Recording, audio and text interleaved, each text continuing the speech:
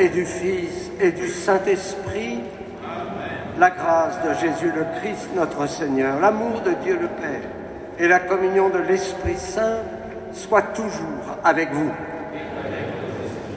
Oui, la nuit qu'il fut livré, le Seigneur prit du pain. Nous allons ensemble ce soir revivre cette sainte scène. Nous entrons dans ce triduum hier à Paris. Prêtres, diacres, évêques se sont retrouvés ensemble pour renouveler leurs euh, promesses sacerdotales.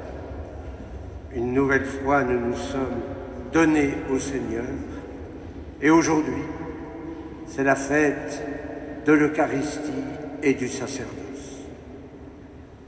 Nous demandons au début de l'Eucharistie cette grâce de pouvoir entrer avec un cœur pur dans ce si beau mystère.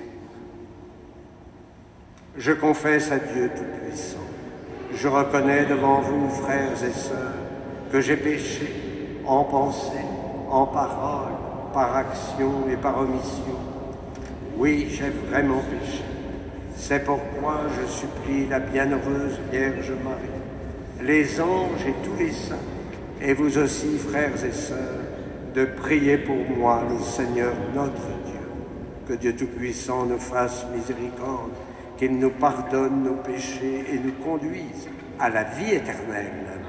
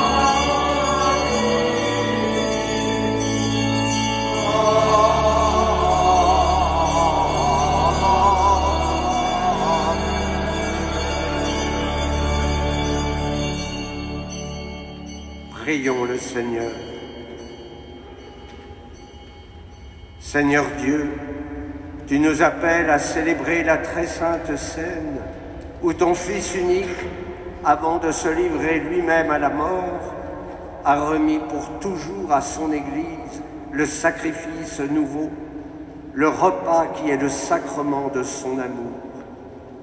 Donne-nous de puiser à ce grand mystère la charité et la vie en plénitude. Par Jésus-Christ, ton Fils, notre Seigneur, qui vit et règne avec toi dans l'unité du Saint-Esprit, Dieu, pour les siècles des siècles.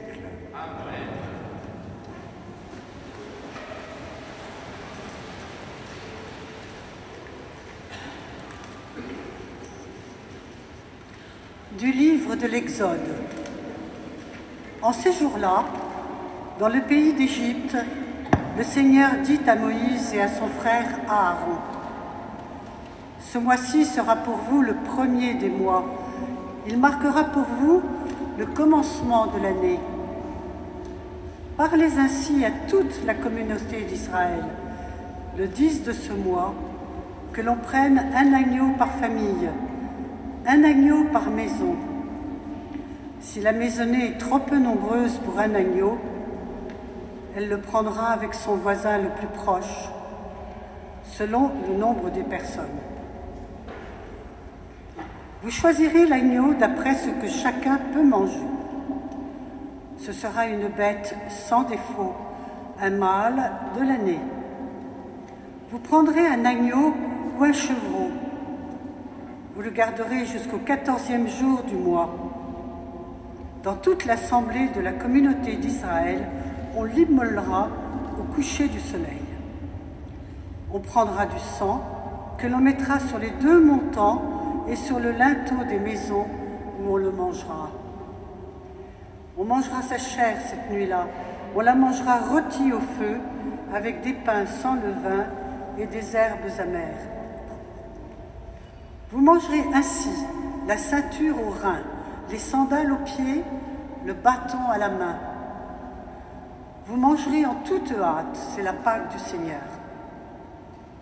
Je traverserai le pays d'Égypte cette nuit-là, je frapperai tout premier-né au, pays d'Égypte, depuis les hommes jusqu'au bétail. Contre tous les dieux de l'Égypte, j'exercerai mes jugements. Je suis le Seigneur. Le sang sera pour vous un signe sur les maisons où vous serez. Je verrai le sang et je passerai. Vous ne serez pas atteints par le fléau dont je frapperai le pays d'Égypte. Ce jour-là, pour vous, un mémorial. Vous en ferez pour le Seigneur une fête de pèlerinage.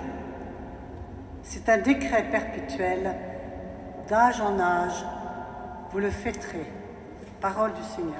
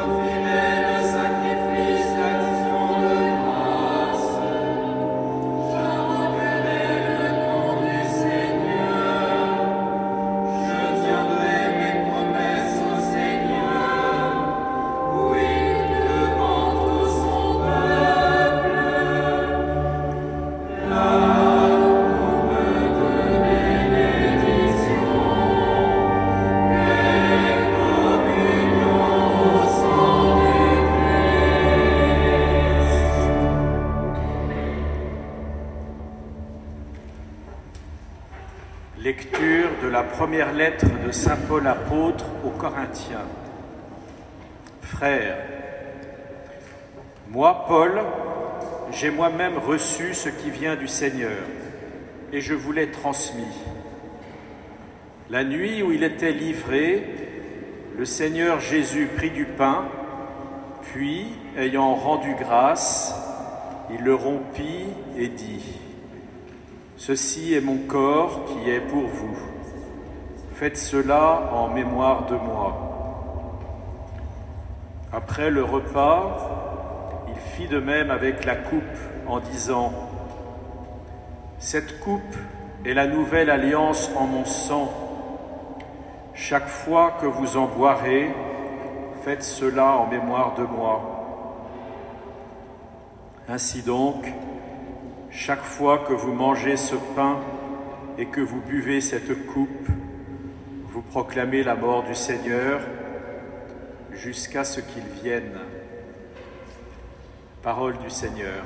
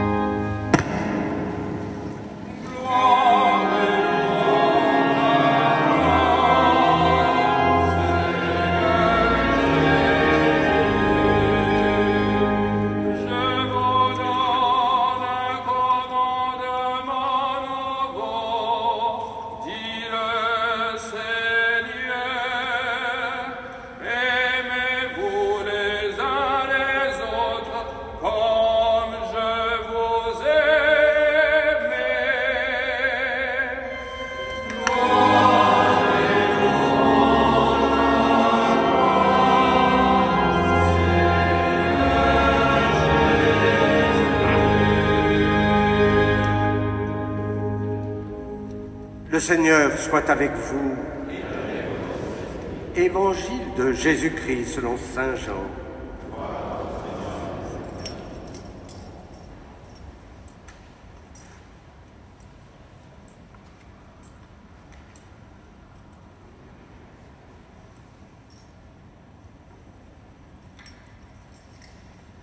Avant la fête de la Pâque, sachant que l'heure était venue pour lui de passer de ce monde à son Père, Jésus, ayant aimé les siens qui étaient dans le monde, les aima jusqu'au bout. Au cours du repas, alors que le diable a déjà mis dans le cœur de Judas, fils de Simon l'Iscariote, l'intention de le livrer, Jésus, sachant que le Père a tout remis entre ses mains, qu'il est sorti de Dieu et qu'il s'en va vers Dieu, se lève de table, dépose son vêtement et prend un linge qu'il se noue à la ceinture. Puis il verse de l'eau dans un bassin.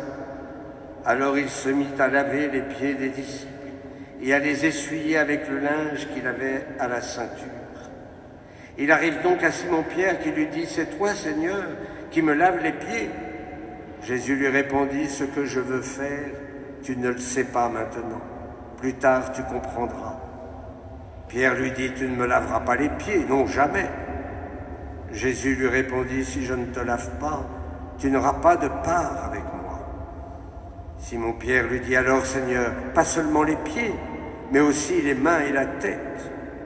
Jésus lui dit, quand on vient de prendre un bain, on n'a pas besoin de se laver sinon les pieds.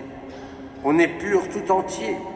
Vous-même, vous êtes purs, mais non pas tous. Il savait bien qui allait le livrer. Et c'est pourquoi il disait, vous n'êtes pas tous purs. Quand il leur eut lavé les pieds, il reprit son vêtement, se remit à table et leur dit, Comprenez-vous ce que je viens de faire pour vous? Vous m'appelez Maître et Seigneur, et vous avez raison, car vraiment je le suis.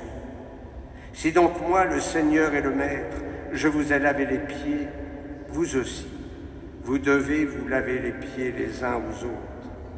C'est un exemple que je vous ai donné afin que vous fassiez vous aussi comme j'ai fait pour vous.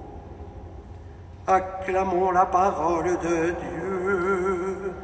Louange à toi,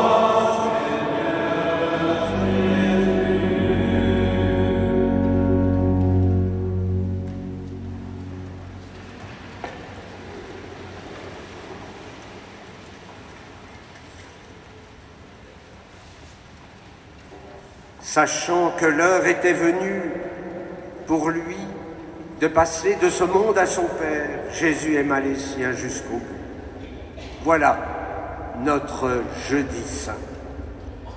Rappelez-vous, à Cana, son heure n'était pas encore venue. Mais ici, au Cénacle, à la veille du don de sa vie pour le salut du monde, devant ses disciples, il prit la décision de s'offrir au Père. Et il a même christianisé la baraka juive décrite dans la première lecture. Le Christ annonce ainsi la Pâque nouvelle et éternelle, qui mange ma chair et boit mon sang à la vie éternelle. La prière du Christ en ce jeudi saint est devenu sacrement, sacrement de l'Eucharistie. Et en ce soir, nous ravivons notre désir de vivre beaucoup plus de l'Eucharistie. Mon âme a soif du Dieu vivant. Quand le verrai-je face à face? Vivre de l'Eucharistie, c'est accepter de suivre le Christ dans son acte d'offrande à son Père. Il s'agit de se laisser saisir dans son acte eucharistique.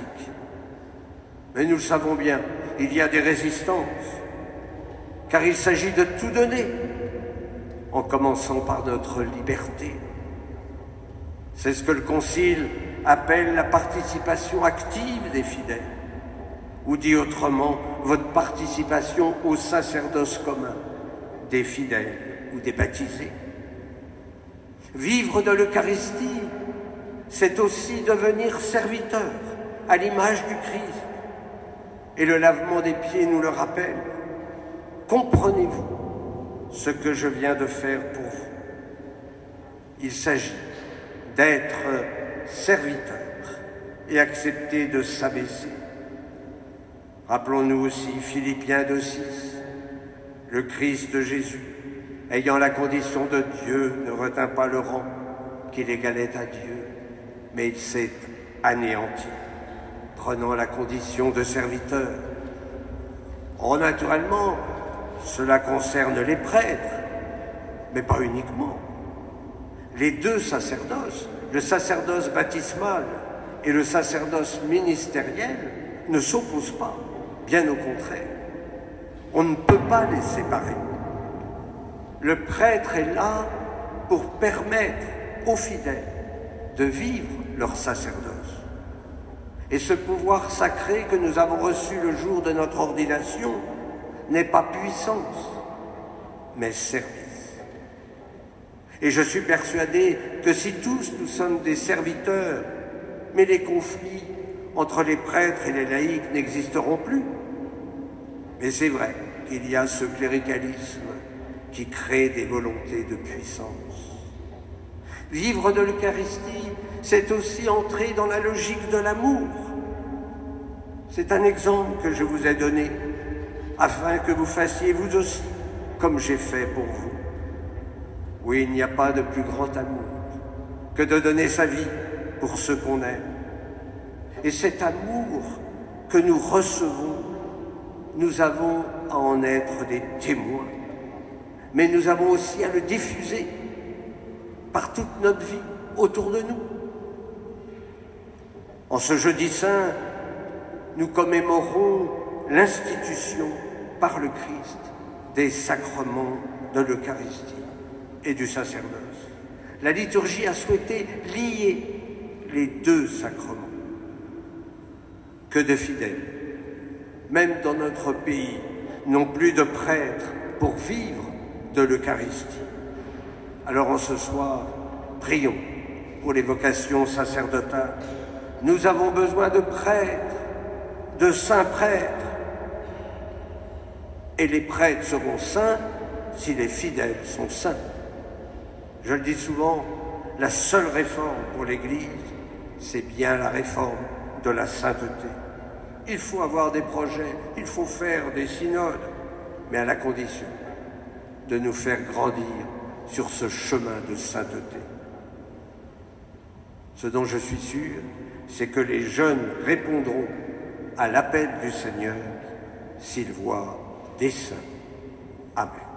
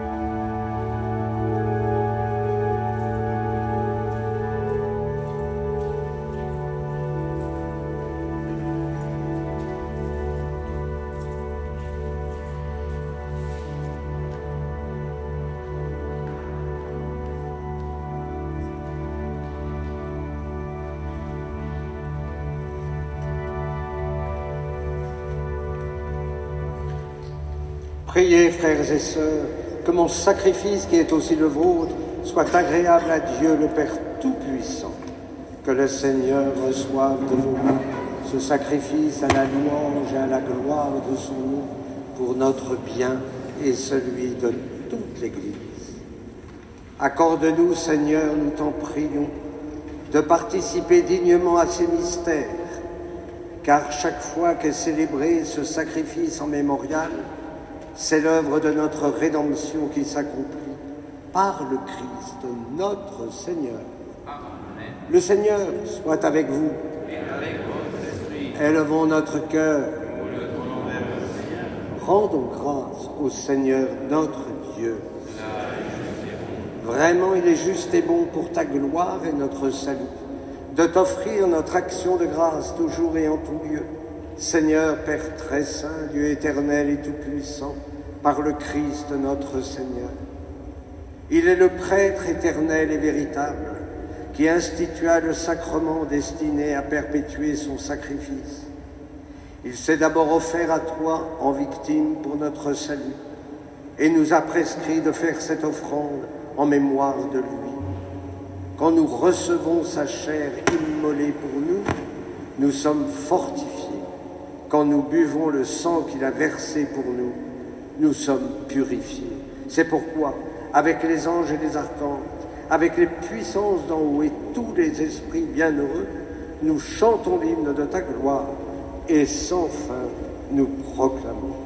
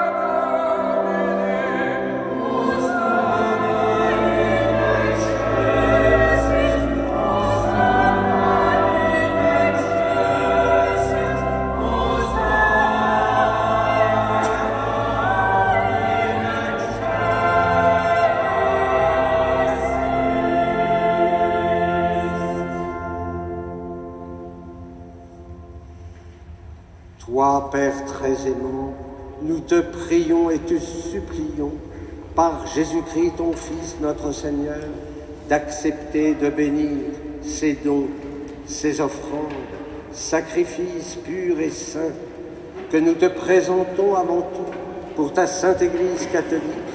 Accorde-lui la paix protège-la. Daigne la rassembler dans l'unité et la gouverner par toute la terre.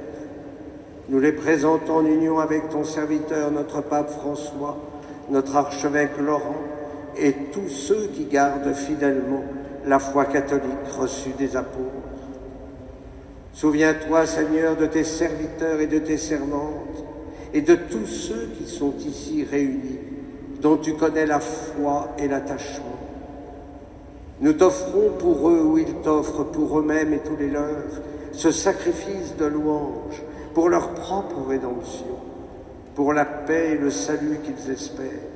Et ils te rendent cet hommage à toi, Dieu éternel, vivant et vrai.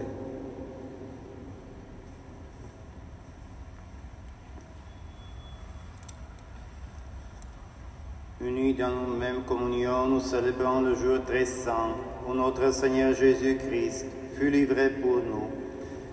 Vénérant d'abord la mémoire de la bienheureuse Marie, toujours vierge, Mère de notre Dieu et Seigneur Jésus-Christ, et celle de Saint Joseph son époux, de bienheureux apôtres et martyrs, Pierre et Paul, André, Jacques et Jean, Thomas, Jacques et Philippe, Barthélemy et Matthieu, Simon et Jude, Jean, Clément, Clément, Six, Corneille et Cyprien, Laurent, Chrysogone, Jean et Paul, Com et Damien, et de tous les saints, nous t'en supplions, accorde-nous, par leur prière et leur mérite, d'être toujours et partout fort de ton secours et de ta protection par le Christ notre Seigneur.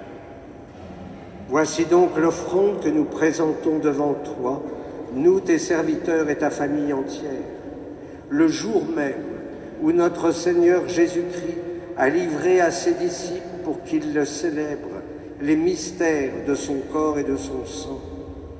Nous t'en prions, Seigneur, dans ta bienveillance, accepte cette offrande. Assure toi-même la paix de notre vie. Arrache-nous à la damnation éternelle et veuille nous admettre au nombre de tes élus. Seigneur Dieu, nous t'en prions, daigne bénir et accueillir cette offrande, accepte-la pleinement, rends-la parfaite et digne de toi, qu'elle devienne pour nous le corps et le sang de ton Fils bien-aimé, Jésus le Christ notre Seigneur.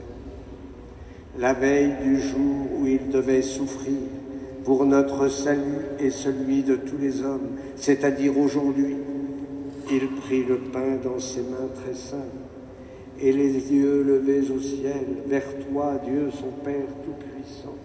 En te rendant grâce, il dit la bénédiction. Il rompit le pain et le donna à ses disciples en disant, Prenez et mangez-en tous. Ceci est mon corps livré pour vous.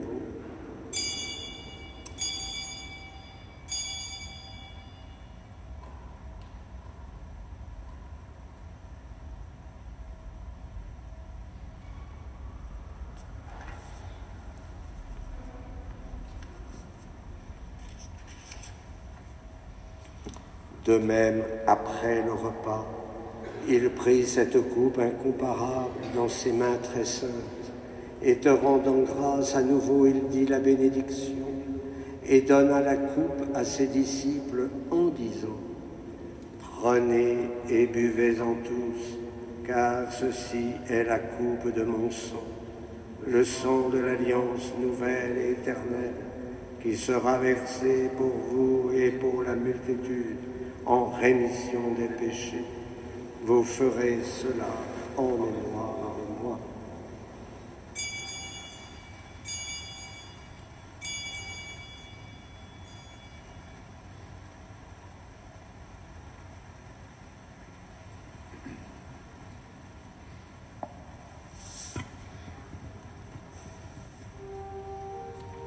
Il est grand le mystère de la foi.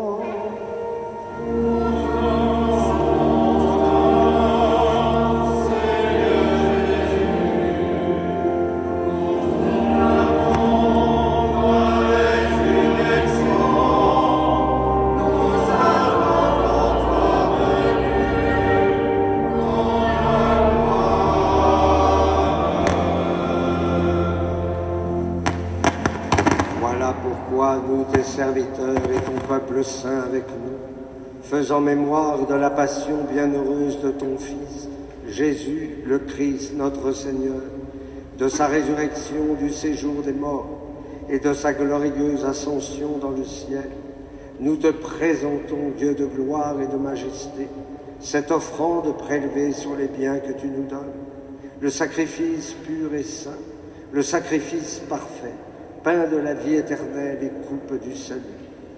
Et comme il t'a plu d'accueillir les présents de ton serviteur Abel le juste, le sacrifice d'Abraham, notre Père dans la foi, et celui que t'offrit Melchisédek, ton grand prêtre, oblation sainte et immaculée, regarde ces offrandes avec amour, et dans ta bienveillance accepte-les. Nous t'en supplions, Dieu Tout-Puissant, qu'elle soit portée par ton ange en présence de ta gloire sur ton autel céleste, afin qu'en recevant ici par notre communion à l'autel le corps et le sang de ton Fils, nous soyons comblés de la grâce et de toute bénédiction du ciel. Souviens-toi, Seigneur, de tes serviteurs et de tes servantes qui nous ont précédés, marqués du signe de la foi et qui dorment dans la paix. Pour eux et pour tous ceux qui reposent dans le Christ, nous implorons ta bonté, Seigneur, qu'ils demeurent dans la joie, la lumière et la paix par Jésus le Christ, notre Seigneur. Amen. Et nous, pécheurs, tes serviteurs, qui mettons notre espérance en ta miséricorde inépuisable, admets-nous dans la communauté des saints apôtres et martyrs, avec Jean-Baptiste, Étienne, Mathias et Barnabé, Ignace, Alexandre, Marcelin et Pierre, Félicité et Perpétue, Agathe, Lucie, Agnès, Cécile, Anastasie et de tous les saints. Nous t'en prions, accueille-nous dans leur compagnie, sans nous juger sur le mérite, mais en accordant largement ton pardon par le Christ notre Seigneur. Par lui, tu ne cesses de créer tous ces biens, tu les sanctifies, leur donnes la vie, les bénis et nous en fais le don.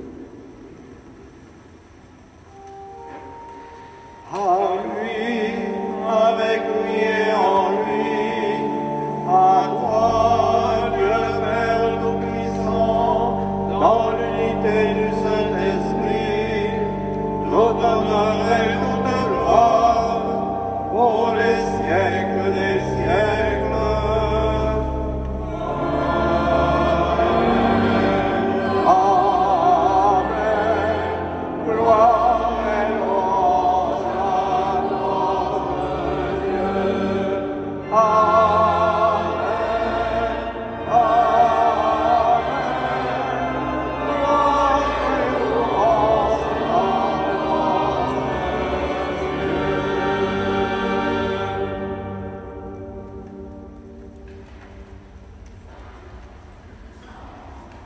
L'avons appris du Sauveur, et selon son commandement, nous osons dire, Notre Père qui es aux cieux, que ton nom soit sanctifié, que ton règne vienne, que ta volonté soit faite sur la terre comme au ciel.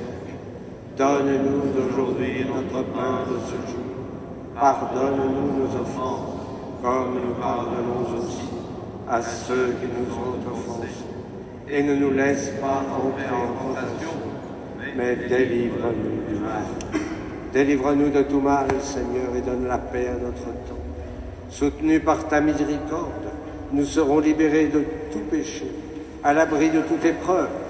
Nous qui attendons que se réalise cette bienheureuse espérance, l'avènement de Jésus-Christ, notre Sauveur. Car C'est à toi qu'appartiennent le et la puissance et la gloire pour les siècles des siècles. Seigneur Jésus-Christ, tu as dit à tes apôtres, je vous laisse la paix, je vous donne la paix. Ne regarde pas nos péchés, mais la foi de ton Église.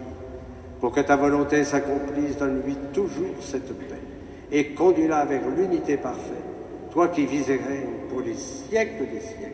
Amen. Et que la paix du Seigneur soit toujours avec vous Et avec votre esprit. et dans la charité du Christ. Donnez-vous la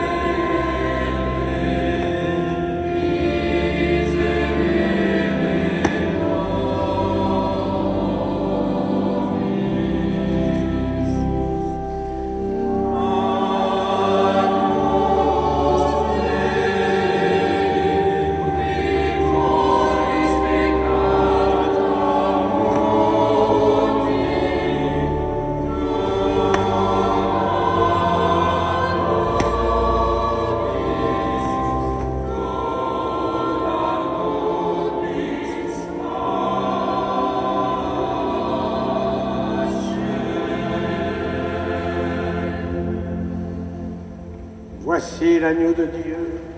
Voici celui qui enlève les péchés. Heureux les invités au repas des noces de l'agneau.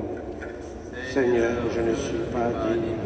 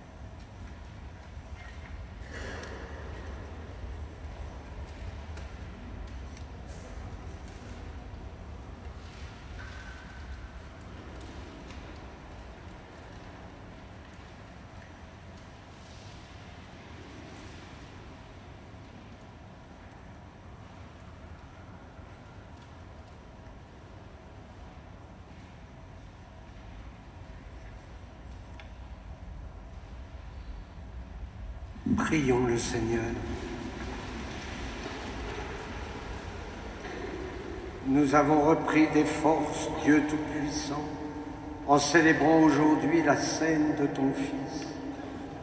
Accorde-nous d'être rassasiés au banquet de l'éternité par le Christ, notre Seigneur. Amen. Nous allons maintenant aller en procession vers le reposoir. Je vous invite à rester euh, sur place. Nous chanterons le tantôt mergot, puis les clercs, les prêtres reviendront en chantant le psaume 21, recto tono. Nous reviendrons dans le cœur pour le dépouillement de l'autel, puisque, voilà, c'est la transition déjà le soir avec euh, le vendredi saint. Et après, vous pourrez naturellement vous recueillir devant le Seigneur qui sera réellement présent dans ce reposoir.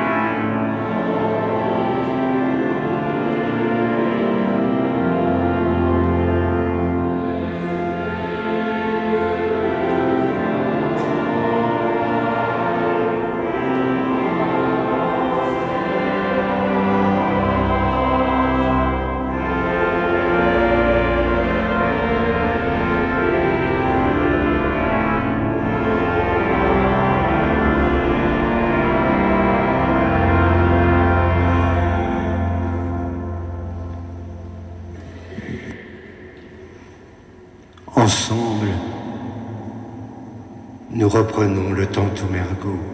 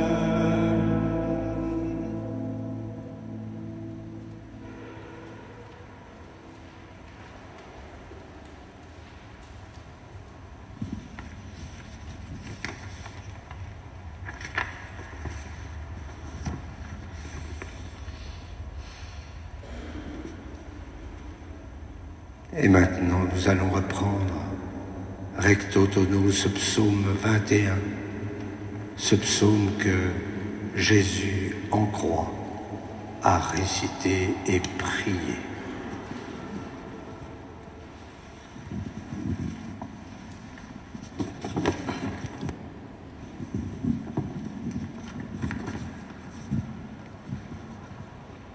Mon Dieu, mon Dieu, pourquoi m'as-tu abandonné?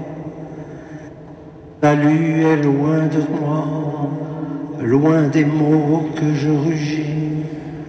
Mon Dieu, j'appelle tout le jour et tu ne réponds pas. Même la nuit, je n'ai pas de repos. Toi pourtant, tu es toi qui habites les hymnes d'Israël. C'est en toi que nos pères espéraient. Ils espéraient, tu les délivrais. Quand ils criaient vers toi, ils échappaient. En toi, ils espéraient, n'étaient pas déçus.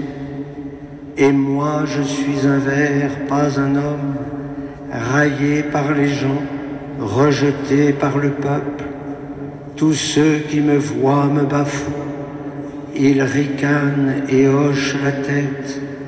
Ils comptaient sur le Seigneur qu'il le délivre, qu'il le sauve puisqu'il est son ami. C'est toi qui m'as tiré du ventre de ma mère, qui m'as mis en sûreté entre ses bras. À toi je fus confié dès ma naissance. Dès le ventre de ma mère, tu es mon Dieu. Ne sois pas loin, l'angoisse est proche. Je n'ai personne pour m'aider. Des fauves nombreux me cernent, des taureaux de basan m'encerclent, des lions qui déchirent et rugissent ouvrent leur gueule contre moi. Je suis comme l'eau qui se répand, tous mes membres se disloquent. Mon cœur est comme la cire, il fond au milieu de mes entrailles. Ma vigueur a séché comme l'argile, ma langue colle à mon palais. Tu me mènes à la poussière de la mort. Oui, des chiens me cernent, une bande de vauriens m'entoure. Ils me percent les mains et les pieds. Je peux compter tous mes os. Ces gens me voient, ils me regardent. Ils partagent entre eux mes habits. Et tire au sort mon vêtement. Mais toi, Seigneur, ne sois pas loin. Ô ma force, viens vite à mon aide. Préserve ma vie de l'épée. Arrache-moi aux griffes du chien. Sauve-moi de la gueule du lion et de la corne des buffles. Tu m'as répondu et je proclame ton nom devant mes frères. Je te loue en pleine assemblée. Vous qui le craignez, louez le Seigneur. Glorifiez-le, vous tous, descendants de Jacob. Vous tous, redoutez-le, les descendants d'Israël. Car il n'a pas rejeté, il n'a pas réprouvé le malheureux dans ma misère. Il ne s'est pas voilé la face devant lui, mais il entend sa plainte. Tu seras ma louange dans la grande assemblée. Devant ceux qui te craignent, je tiendrai mes promesses. Les pauvres mangeront, ils seront rassasiés. Ils loueront le Seigneur, ceux qui le cherchent. À vous toujours la vie et la joie. La terre entière se souviendra et reviendra vers le Seigneur. Chaque famille de nations se prosternera devant lui. Oui, au Seigneur, la royauté, le pouvoir sur les nations. Tous ceux qui festoyaient s'inclinent, promis à la mort, ils plient en sa présence. Et moi, je vis pour lui, ma descendance le servira. On annoncera le Seigneur aux générations à venir. On proclamera sa justice au peuple qui va naître. Voilà son œuvre.